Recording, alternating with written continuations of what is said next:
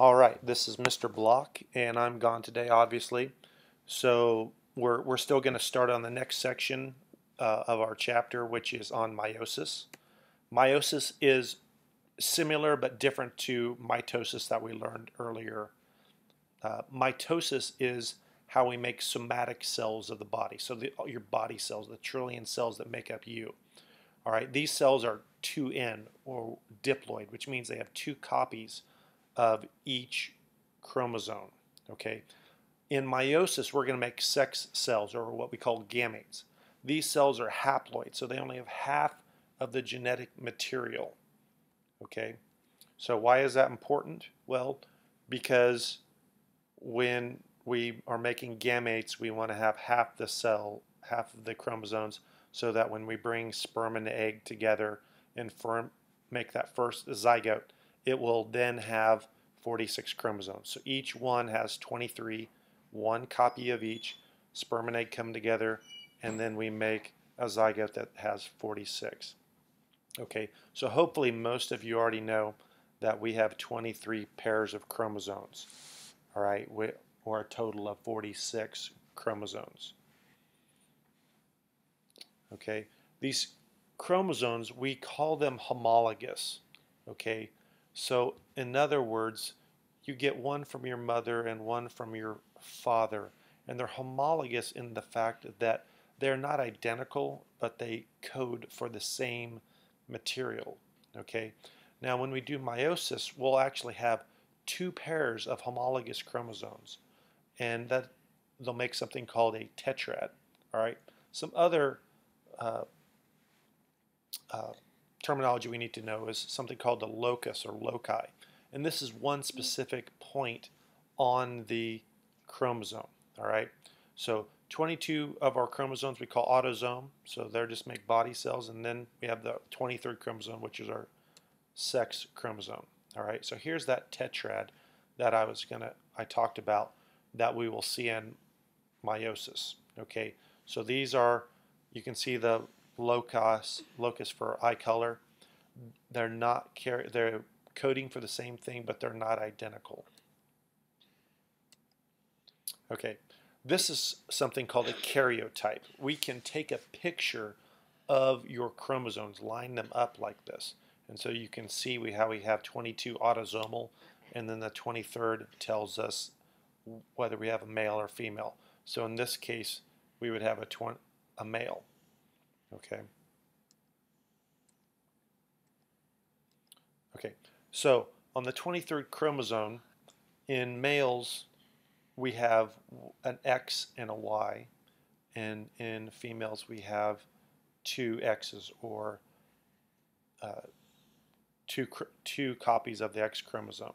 So we did the Punnett square uh, a couple days ago and showed how you know there's a 50% chance of getting a male or a female because you have a 50% chance of getting the X chromosome or the Y chromosome from your father. Okay, so meiosis. Like I said, meiosis is similar to mitosis, um, except for the fact that we are going to have two different divisions. So we'll have a meiosis 1 and a meiosis 2. And a lot of the steps that we see will be very similar to what we saw in mitosis. We'll have prophase, metaphase, anaphase, telophase. We even have an interphase. Okay, so we are going to take a diploid cell, a 2N cell, and then we are going to make a haploid. Okay, and the, like it says here, the importance of this is to make sure we are giving the next generation the right number of chromosomes. All right, now just like in mitosis, meiosis has an interphase as well, and it has that S phase, which stands for synthesis. So we are going to duplicate the chromosomes. All right. Now, in mitosis, we only had a haploid cell and we duplicate it. Here, we're starting with a diploid cell, so we're going to end up with four homologous chromosomes. All right. Just some other terminology to remember. Uh, in the middle of the chromosomes are the two sisters. They are attached together by the centromere, and then we have the centrioles that have the spindle fibers that will control the meiosis. Okay, and we call the genetic material, if it's not wound up into chromosomes, we call it chromatid. Okay, so during interphase 1, we can see the nucleus and we can see the nucleolus. So we know, like in mitosis, that the first step of prophase was when the nuclear envelope broke down. All right, so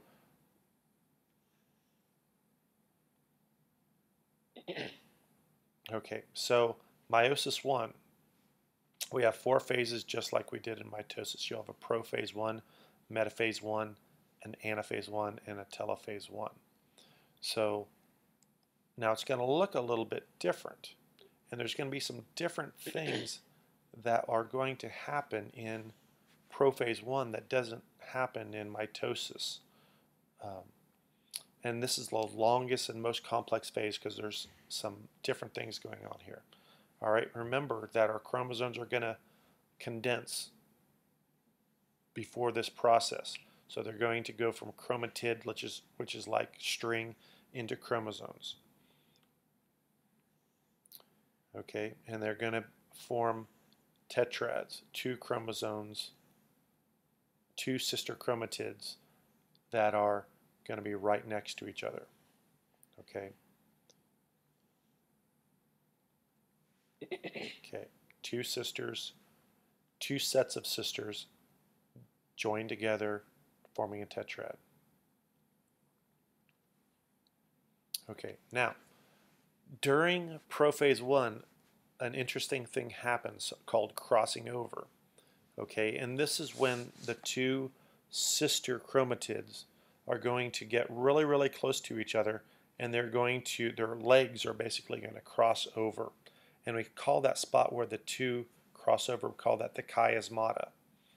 All right, and what this is going to do for us is it's going to give us genetic diversity.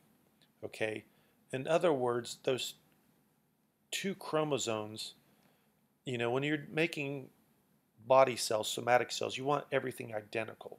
Well, when we're the purpose of sex is to make variation and to have we don't want you exactly like your mom and we don't want you exactly like your dad. So when we we do crossing over so that these a little bit of one chromosome ends up on the other chromosome. And so they're not exact copies of one another, giving us variation. All right. So after crossing over occurs, just like before, we get spindle fiber formation from the centrioles to the centromeres. Before, though, you know, in mitosis, we would have only had one X in the middle of it instead of two X's. Then we start metaphase 1. And if you remember before, the M in metaphase stands for the middle. Okay, so the tetrads are going to line in the middle. All right, now, something else occurs in metaphase that gives us a lot of variation as well, and that's independent assortment. So if you remember when we did our Punnett squares, we talked about the fact that uh, genes or loci on different chromosomes aren't attached to one another. So the chromosome in pea plants for uh, height was not attached to the one for uh, flower color. Okay, it's the same thing here. And basically, what this means is that those X's, when they are pulled apart during metaphase, you don't know which one's going to end up in which cell. Okay, maybe your mother's ends up in the cell that fertilizes the egg. Maybe the other one. So you're not going to get 23 from your mom, you're not going to get 23 from your dad. You're going to get a mixture of this, okay, because you don't know how they're going to line up. So that doesn't seem like a big deal until you think about that we have 23 chromosomes, and each one we have the possibility of getting one or the other. Well, 2 to the 23rd, if you do that calculation, is millions of possibilities. Okay, so that gives us lots of genetic variation which means that's why you don't look exactly like your parents. So After independent assortment, we meet in the middle. And then we have anaphase 1. And this is where we're going to pull the tetrads apart. Okay, we're not pulling the sister chromatids that are attached together apart, but the two, the tetrad apart, like this. So now that we have now we have telophase 1 and now we have an X that's going to end up in each of two cells. And then we have cytokinesis like we did in mitosis which we're going to cut those cells in two so at the end of meiosis 1 we will have two cells that are haploid. Okay. So okay. Right after this we start meiosis 2 okay there's no interphase at all. We go instantly into this next step. All right, we're not going to duplicate the DNA this time like we had in the interphase before meiosis 1. Okay, so this is going to be exactly like mitosis. Okay, we are going to have prophase, so we're going to attach the spindle fibers again. This is happening in two different cells at the same time now. We're going to have metaphase where they're going to meet in the middle. We're going to have anaphase, where now we're going to pull the sisters apart at the centromere. All right. So with us, we'd have 23 pairs that we would be, 23 chromosomes that we would be pulling apart. Okay. Then we have telophase. So we're going to pull them apart and we're going to reform the nuclei and then we're going to have cytokinesis that happens after telophase 2. And at the end of this, at the end of the day, we end up with four haploid daughter cells. All right. So these will be four sperm, four eggs that can be fertilized.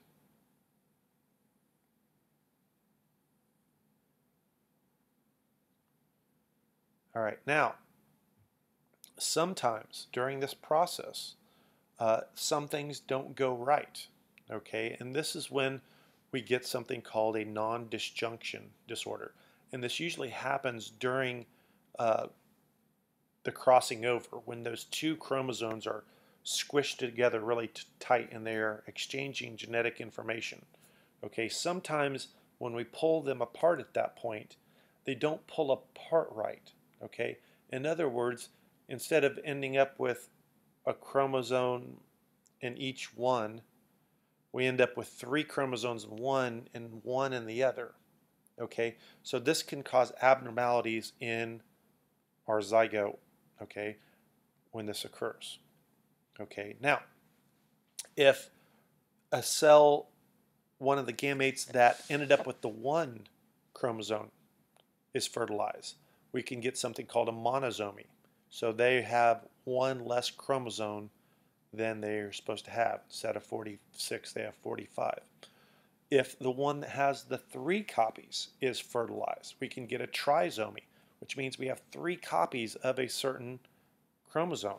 So there is something called a trisomy 18, or a trisomy 21, or a monosomy 23.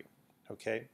Now, we don't normally know these names, but a lot of you know that what Down syndrome is and know some of the genetic defects that occur in Down syndrome.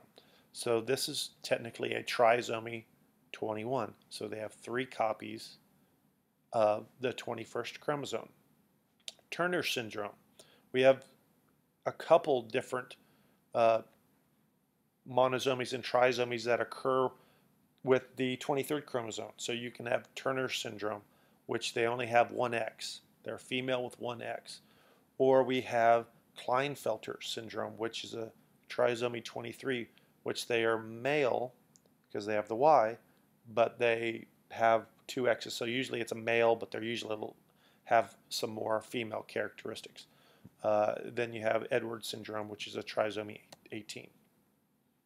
Now, uh, a procedure that can be done before um, a child is born is something called amniocentesis. And basically, what they can do is they can take some of the amniotic fluid by injecting a needle into uh, the uterus, and they can take some of the amniotic fluid and they can do a genetic test for some of these non-disjunction disorders. Okay.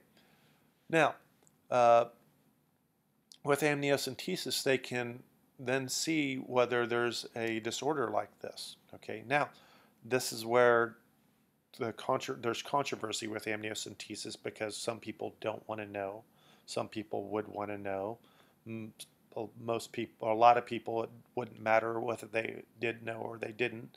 And, you know, uh, they are, uh, you know, trying to get more, better testing, better genetic testing for diseases and disorders.